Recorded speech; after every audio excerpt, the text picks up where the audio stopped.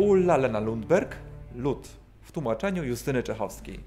Wydana w Gdańsku w 2022 roku. Znasz Slow Life. Wypróbuj slow reading. Bezleśne, skaliste wyspy alandzkie nie są zbyt przyjaznym miejscem do życia. Jednak to właśnie na Irlandii swoje miejsce na ziemi widzą Peter i Mona, młode pastorostwo. Sprowadzają się tu z dwuletnią córką. Bez trudu przywykają do spokojnego życia wyspy, do zwyczajów jej mieszkańców, do codzienności uzależnionej od kapryśnej pogody.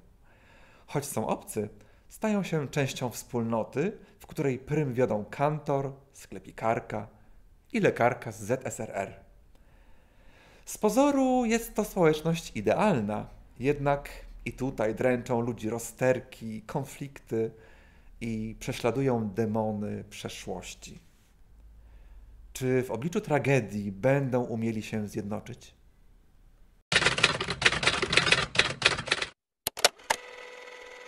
Ten, kto widział, jak zmienia się krajobraz, gdy w zasięgu wzroku pojawia się łódź, nigdy się nie zgodzi, że pojedyncze ludzkie życie jest bez znaczenia.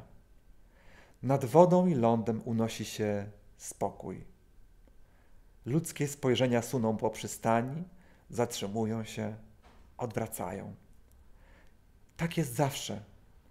W każdej piersi tkwi tęsknota za czymś innym, a wszystko, za czym tęsknimy, nadpływa wraz z łodzią.